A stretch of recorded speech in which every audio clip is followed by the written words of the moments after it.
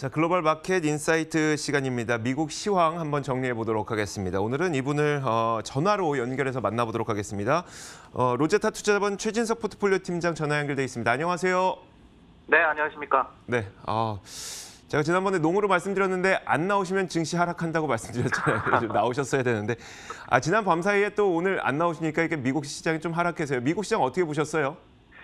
아, 한마디로 표현을 하자면은 좀 명백한 호재가 존재했음에도 불구하고 어떤 그간의 상승에 대한 피로감이 또 한 번 좀 작용을 했다. 그러면서 거의 이제 한 달 만에 최대 하락폭을 이제 기록을 했는데 결국은 이제 중국 이 사우스 차이나 모닝 포스트에서는 류허 부총리가 주말에 방미해서 1단계 무역 합의에 서명할 것이다라고 보도를 했죠. 근데 이게 그 앞서서 이 로버트 라이트하이저 무역 대표부 대표가 1월 첫째 주에 서명을 이 점친 바 있기 때문에 이거를 감안을 한다면은 굉장히 이제 양측이 별다른 잡음 없이 예정대로 일을 진행하고 있다 이렇게 좀 긍정적으로 해석할 수 있는 그런 재료였습니다. 근데 이제 증시가 추가 상승이 불발이 됐는데 많이 나오는 얘기는 역시 좀 지금까지 많이 올랐던 섹터가 오늘 좀 주가 하락세를 이끌었다. 그리고 어떤 이 마이크로소프트라든지 비자 같은 대형 IT주 그리고 아니면은 테슬라라든지 엔비디아 같은 올해 좀 주가가 많이 올랐던 이런 종목의 하락세가 나타났다. 결국은 연말에 이제 차익 실현 움직임이 좀 나타났다라는 해석이 가능할 것 같고요. 그리고 실제로 뱅크 오브 아메리카에 따르면은 지난주에 이제 크리스마스를 즈음해 가지고 한 주간 미국 주식형 펀드에서 한 200억 달러 이상이 이제 순 유출이 됐다고 합니다. 즉 연말에 저희가 추가 랠리에 대한 기대감도 물론 있지만은 이제 좀 차익 실현을 하려는 움직임도 미리부터 있었다 이렇게 좀 말씀을 드릴 수가 있겠습니다. 어, 지난 밤 사이에 미국 시장의 하락은 차익 실현 정도의 의미로 보면 될 것 같다라는 이야기네요. 알겠습니다. 어, 올 한 해를 이제 좀 정리를 해볼 텐데 어, CNBC의 유명 진행자인 짐 크레이머가 보유하고 있는 또 언론사가 있습니다. 뭐 여기에서 올해의 주식을 발표를 했었는데 제가 저희가 지난 시간에는 10위부터 2위까지만 소개해드렸는데 여기 1위가 발표가 됐죠.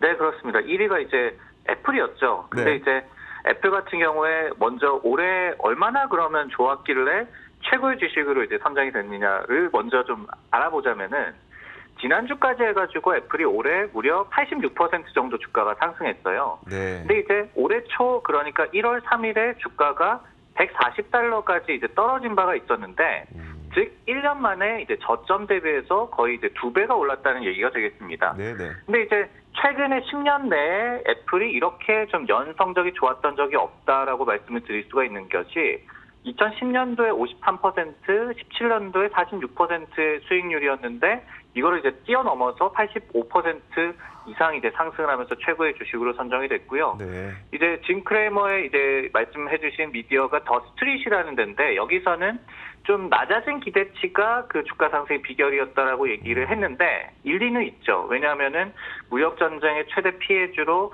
어떤 관세 공포감이 상당히 좀 있었는데 네네. 아이폰만큼은 이런 악재도 좀 피해갔고 그리고 이제 시달린 만큼 상황도 이제 풀리니까 주가도 좀 급등을 했었고 여기에 이제 기존의 애플페이라든지 뮤직, 앱스토어 이런 거 외에도 애플 TV 플러스, 애플 카드 그리고 게임 서비스 아케이드 등으로 해가지고 서비스 사업 포트폴리오도 다변화했고 이렇게 좀 성장성이 좋은 쪽으로 선택과 집중을 했는데 시장도 이것에 대해서 좀 납득을 하고 환호를 하면서 올해 가장 좋은 흐름을 보였던 그런 주식으로 선정이 된 것 같습니다. 네. 어, 주가가 이렇게 오르고 나서 우리가 뒤돌아보면 아 이거 살 걸 하지만 사실 이게 어, 매 순간 순간을 우리가 현재 상황을 판단을 해보면 지금도 역시 리스크는 있어.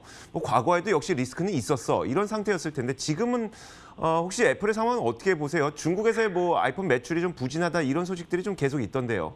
네, 애플의 이제 현재 상황을 진단을 한다면은 악재와 호재가 좀 명확하다, 둘 다 명확하다라고 말씀을 드릴 텐데 먼저 이제 악재 같은 경우에는 지금 말씀을 해주셨듯이 중국에서 아이폰 판매가 부진합니다. 예를 들어서 11월에 중국에서의 아이폰 출하량이 290만 대 그쳤는데 이게 전년 대비해서 35.4%나 급감한 거였죠. 음, 근데 이제 전체적인 지표를 살펴보면 5G 스마트폰 출하량은 중국에서 전월 대비 100% 이상 늘었고요. 그리고 이제 전체 휴대전화 기준으로 해가지고 중국 국내 브랜드 점유율이 90%였거든요. 네. 즉 아이폰은 이제 5G가 내년에 나오기 때문에 애플이 특히 이제 5G 폰에서 고전했고 그리고 중국 국내 브랜드에 밀렸다라는 해석이 이제 가능합니다. 실제로 바클레이즈 같은 기관에서는 중국 내에서 이제 5G 폰이 보급이 확대가 되고 있기 때문에 애플이 5G 아이폰을 선보이는 2020년 하반기까지는 점유율 축소 리스크가 좀 지속될 거라고 얘기를 하기도 했습니다.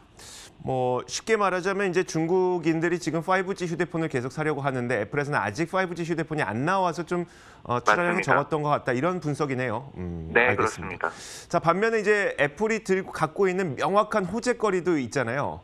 네, 호재는 이제 결국은 아까 말씀을 드렸던 서비스 부문 외에도 어떤 웨어러블이라든지 이런 액세서리 제품에서의 수요가 호조를 나타내면서 하드웨어 사업이 좀 부진할 거라는 우려를 덜고 있다라는 부분인데요. 이제 10월 말에 에어팟 프로 이제 신제품이 출시가 됐죠. 근데 이제 연말 쇼핑 시즌이 본격화되기도 전에 품귀 현상이 일어났다라는 얘기가 나왔었고 네. 그리고 이제 에어팟과 애플워치 등이 포함이 된 이제 웨어러블과 홈 액세서리 부문이 애플이 이제 2019년도 회계 연도에서 비중이 9.4%였습니다. 이 사업부가.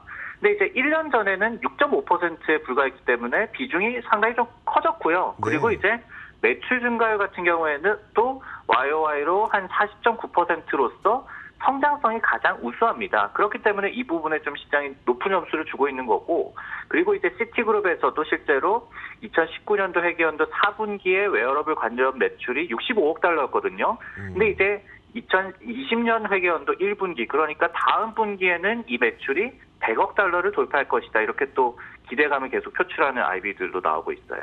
그렇다면 이제 월가의 아이비들 의견을 좀 종합해 보면 어, 2019년에는 어, 이렇게 최고의 주식으로 꼽혔다면 2020년에도 이런 명맥을 이어갈 수 있을 것으로 보이나요?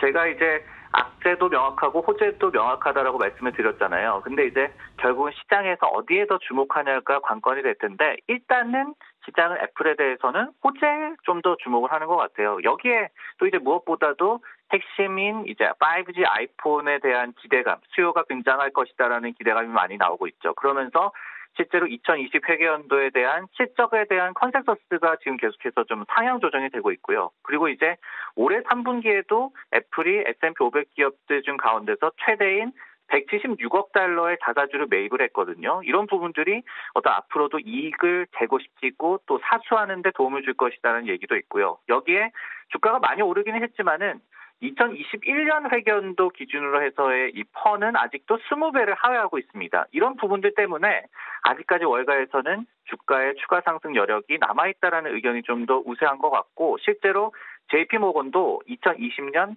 탑픽 중에 한 종목으로 애플을 다시 한번 좀 선정을 했습니다. 네. 자, 이 정도 주가가 올라가다 보니까 우리나라에 있는 투자자분들이 아, 너무 비싼 거 아니야 라고 하면서 아, 좀 사기를 어, 주저할 수도 있는데 여전히 기대감을 많이 갖고 있다라는 이야기네요. 알겠습니다. 자, 지금까지 로제타 투자자문 최진석 포트폴리오 팀장과 함께 이야기 나눠봤습니다. 고맙습니다. 네, 고맙습니다.